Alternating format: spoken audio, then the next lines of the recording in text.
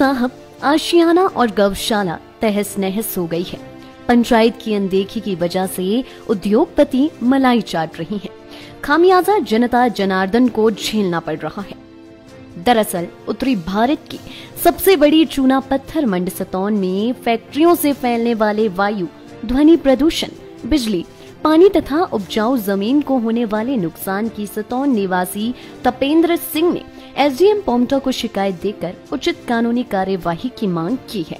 शिकायतकर्ता हेल्पलाइन पर शिकायत कर मांग की गई है कि यदि फैक्ट्रियों से कोई जान माल का नुकसान होता है तो उसके लिए general manager, CCI factory Rajban panchayat प्रधान सतौन प्रदूषण बोर्ड पाउंटा जिम्मेदार होगा। उन्होंने एसडीएम पोमटा साहिब को सौंपी शिकायत में कहा है कि 1990 से उन्नीस सौ इक्यानवे में यहाँ सतौन में मकान बनाया गया है, जिसे चारों तरफ़ से फैक्ट्रियों ने घेर लिया है। सतौन बस स्टैंड से एंगल स्टेशन तक करीब 500 से 600 मीटर सड़क सीसीआई राजबन फैक्ट्री की है, जिस पर निजी फैक्ट्रियों की गाड़ियाँ दौड़ रही है और प्रदूषण फैला रही है। तथा सड़क की हालत भी खस्ता हाल है। राहगीरों का पैदल चलना मुश्किल हो गया है। फैक्ट्रियाँ चूना पत्थर तथा क्रैशर चलाकर ध्वनि व वायु प्रदूषण फैला रही हैं, जिसका खामियाजा सतौन के ग्रामीणों को हो रहा है। सर समस्या ये है जो मैं यहाँ पे किराए में रहता हूँ और बारिश का जितना भी पानी होता है वो मकान के अंदर में आता रहता है। हम लोग सोए रहते हैं सारा कपड़ा पानी एक से नहीं जाता और ये टोटी नलका का जो पानी है जो एक महीना से पीने के लिए न उपलब्ध नहीं है। के लिए न हाँ नहाने धोने की क्या क्या समस्या हो रही है?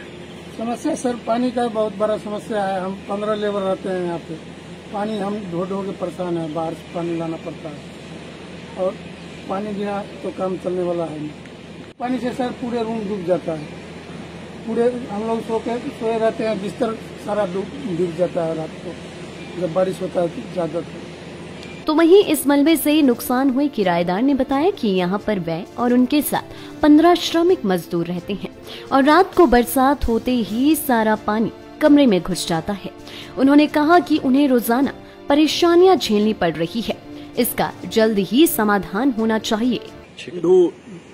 ये जो उद्योगपति है, इन्होंने जितना भी पानी है अपने बीच बचाव के लिए मेरे मकान व गौशाला तक छोड़ दिया है, जिससे मेरा मकान ध्वस्त हो गया है और भी उद्योगपतियों से एक चुन्नी भी अनुदान के रूप में नहीं ली है जबकि मैं फैक्ट्रियों के बीच उसमें मेरा मकान है और दूसरा मकान भी मेरा सीसीआई रोड पे आता है जि, जिससे इन उद्योगपतियों की जितनी भी गाड़ियाँ हैं इलीगल तौर पे उस रोड से चलती है। इनके पास अपना कोई भी रास्ता आने मेरी गौशाला में और मेरे किराएदारों को एक महीने से पानी बिजली की समस्या मैंने सौ डेढ़ सौ मीटर सर्विस वायर जोड़कर पानी लाया है, जल सैलाब। मैंने मीडिया प्रभारी को जल सैलाब के बारे में सारा कुछ बता दिया है। धूल, मिट्टी, ध्वनि व वायु प्रदूषण। जगह जगह गंदगी, रोड की दुर्दशा, जिसे देखी नहीं जा सकती। ना सीसीआई बनाती है, ना ग्राम पंचायत कौन बनाती है। पैदल चलने वाले रास्ते, सिंचाई की कूलों की समस्या कहीं पर भी कूल नहीं है। हमें चारा बीजने के लिए हम कहीं से पानी उपलब्ध नहीं कर सकते हैं कि ये उद्योगपति, ग्राम पंचायत कौन के कुछ निजी स्वार्थी लोग मेरे व मेरे परिवार के खिलाफ खिलाफ कुछ भी साजिश रच सकते हैं लेकिन मैं इस बात की परवाह किए बिना अपने हक के लिए आवाज़ ज़रूर उठाऊँगा। हमें शुद्ध हवा चाहिए हमें जीने के लिए जो चीज़ें ज़रूरी है वो चीज़ें चाहिए। हमें पैसा नहीं। लाइफ टाइम्स टीवी के लिए पौंटा साहिब से देवान शर्मा की रिपोर्ट। हिमाचल के सबसे बड़ी ऑटो डीलरशिप गोयल मोटर्स में नौकरी करने का सुनहरा अवसर। सोलन शिमला सिरमौर और किन्नौर में चाहिए।